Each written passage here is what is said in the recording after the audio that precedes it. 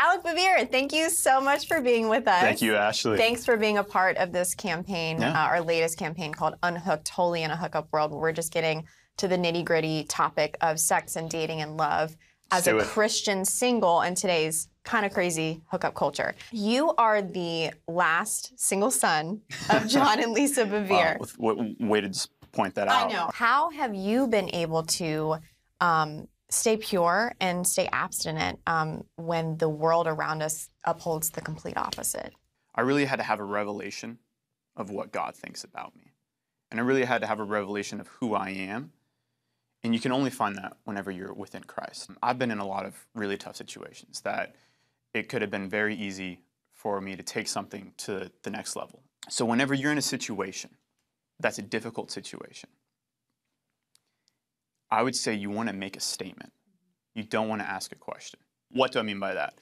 So, if you're someone who struggles with hooking up with someone, if you're someone who struggles with pornography or lust or things like that, and if you make a statement that, no, I don't do this, like w- whenever you reach that moment of temptation, you're like, I-, I-, I don't do this. It completely shuts off your mind and it shuts off the enemy from allowing to justify things. That's good. That's Yeah. awesome. All right, so let's transition now and talk about heartbreak and, Um, and rejection. We're, we're going to transition to that. We are transitioning right. to that. You, you want to see me cry on camera?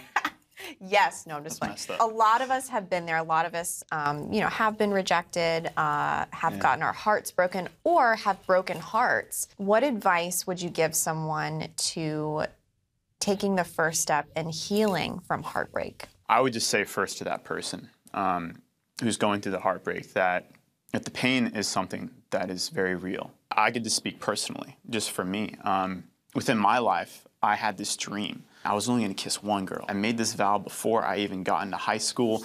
And I, I mean, I may go on dates with other girls, I may hang out with them, but I'm not even going to kiss them. Like, I'm going to kiss the girl that I know I'm going to marry. And I met this girl. And I was like, I know I'm going to marry this girl. So then I kissed her, right? And then it was way more than that because we dated for a while and I proposed to her. It, it was all over social media, it was everywhere. My parents posted it. They have like 2 million followers between them. Everyone saw it, right? But then something happened. And it was a really hard and heartbreaking thing. Basically, I had to end the relationship.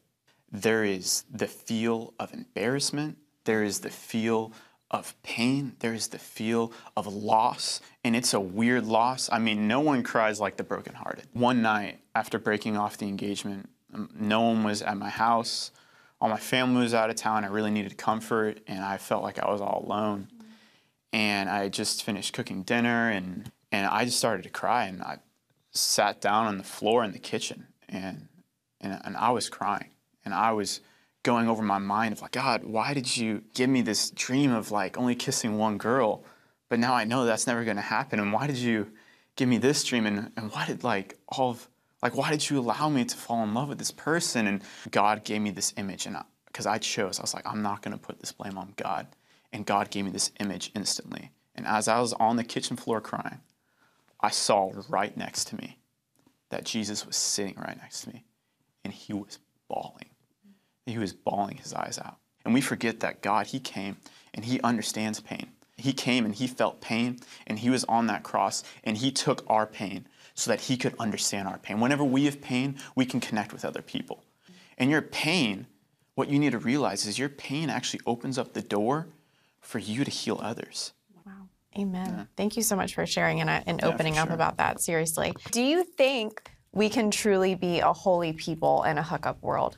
If you want to be holy in hookup world, you need to watch your situations. But I can speak from experience that I've been very careful of trying not to be in bad situations, but but things still happen. And how do we counteract temptation in these moments? And that is knowing who you are in Christ. That if you can hear the sound of my voice, that you are a son and daughter of God. That the book of Romans has a scripture and it says the whole universe waits with an anticipation for the sons and daughters of God to reveal themselves. That we have to remember that our God is someone whose thoughts for you in particular have outnumbered the grains of sand on this planet. That He is someone that loves you and you're called to a higher way. And that you make that statement that I am a child of God, that this is something that I do not do, That it might have been something that was the old you, but you've been called to a new higher calling. You've been called to a different you. And so I'd say, remember who you are in Christ. Get into God's word if you forget. I know so many people, so many guys and girls are truly just going to be touched by the wisdom and knowledge that you've shared with us. Absolutely. It, it was just an honor being here. Seriously, it was. Thanks so much. Yeah. Thank you guys.